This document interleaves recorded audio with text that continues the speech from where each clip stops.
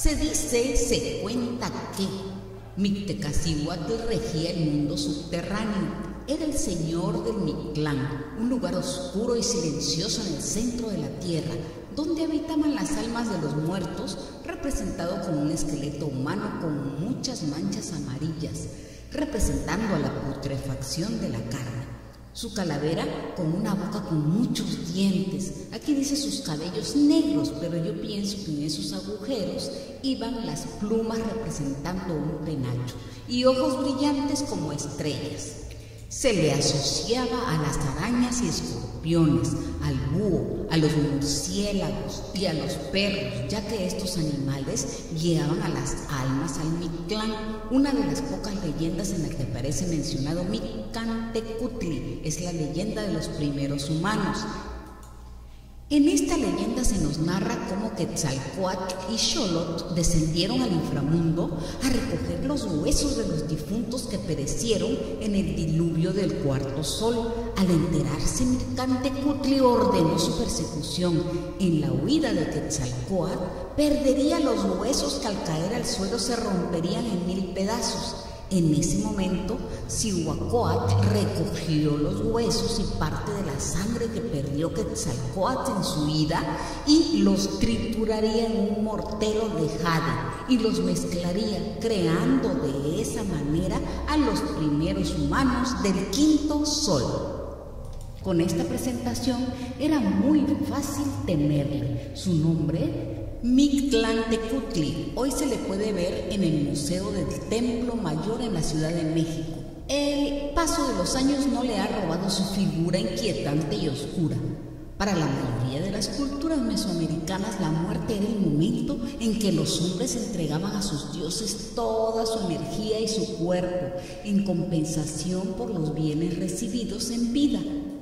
Es decir, era un acto de reciprocidad hacia ellos los mexicas tenían muy presente lo anterior y le otorgaban una importancia tal, una cosmogonía muy personal en torno a ello, dotadas las historias, ritos y símbolos fascinantes. Estaban firmemente convencidos de que la muerte era otro tipo de vida, una etapa de purificación antes de que el alma pudiera mantenerse limpia de toda mancha. Ellos creían que los muertos, dependiendo de la forma en que su vida terminaba, siempre decisión de los diversos dioses en que creían, ¿verdad?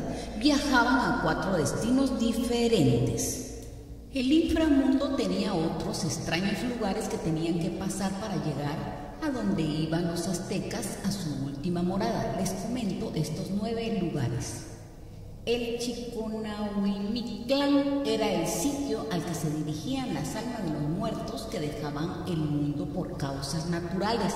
Antes de conseguirlo, tenían que librar una especie de pruebas purificadoras en cada uno de los nueve niveles del inframundo, lugar gobernado por Mictlantecutli. Los nueve lugares se dividen como sigue. Tlalticpac, la tierra, es el lugar en donde se llevan a cabo la vida terrenal de los aztecas, el primer paso hacia la muerte. Tlaltipac se conoce de las palabras Ticpac, que significa en lo más alto de la cumbre, y Tlali, tierra. El significado sería en la parte más alta de la tierra. Se consideraba en todas las acciones cometidas en el Tlaltipac, determinarían la manera de encarar los obstáculos de la muerte. Seguimos con el Apanohuaya, el paso del agua, el perro Soloscuincle, que los guiaba por este río y evaluaba si el hombre había sido justo en vida y no habría maltratado a ningún animal.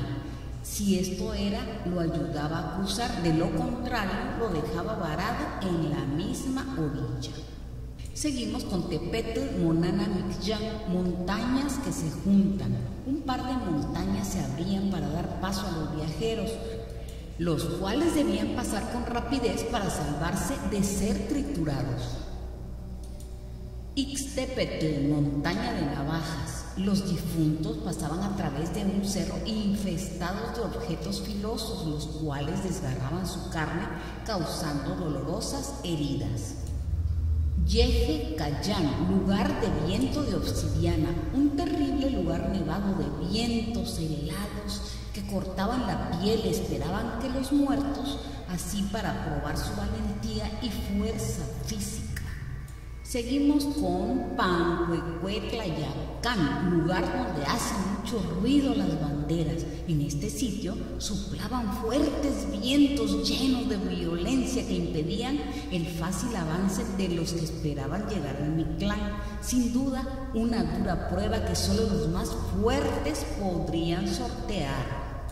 Otro más de Miminaloya, lugar donde la gente es flechada. Todas las flechas extraviadas por los guerreros en batalla eran recogidas por un dios que se dedicaba a arrojarlas sobre los muertos. Teyoyo Hualoyán, lugar donde se come el corazón de la gente. Este era uno de los sitios más peligrosos de todos los del inframundo. Los muertos eran recibidos por un jaguar vinculado con Tezcatlipoca, que devoraba sus corazones. Para despistarlo, los gobernantes o las personas de las clases más altas le daban al animal una piedra de jade, mientras que los de las clases más bajas le entregaban una piedra común. Y como último punto tenemos el Itzmictlán Aonpochcaloca, lugar de la muerte de obsidiana, lugar sin chimenea. El denso humo que invadía el lugar impedía a los viajeros ubicar su posición y algunos terminaban extraviados para siempre la ruta del Mictlán. Mictlantecutli, el señor del lugar de los muertos, rey absoluto de Mictlán, tenía su esposa, de nombre Mictlán Cihuatl, la que vomita sangre, y se dice que ayudaba a las parturientas. El chichihuacaco o árbol nodriza era el destino de los niños que morían en edad lactante o que no habían logrado nacer. En este sitio encontraban el árbol nodriza de cuyos frutos podían mamar antes de volver a este mundo para una nueva oportunidad de vida. Fray Bernardino de Sagún describe el chichihuacaco de esta manera en sus primeros memoriales. El que moría muy niñito y era una criatura que estaba en la cama, se decía que no iba allá al mundo de los muertos, solo iba al Xocatlalpan. Desde allí era erguido el árbol nodriza, maman de él los niñitos, bajo él haciendo ruidos con sus bocas y de sus bocas viene a estarse derramando leche.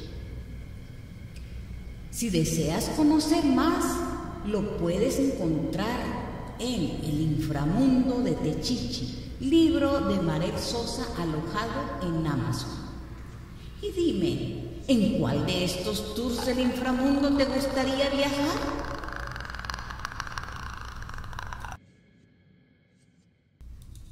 Esto fue el búnker del cuervo.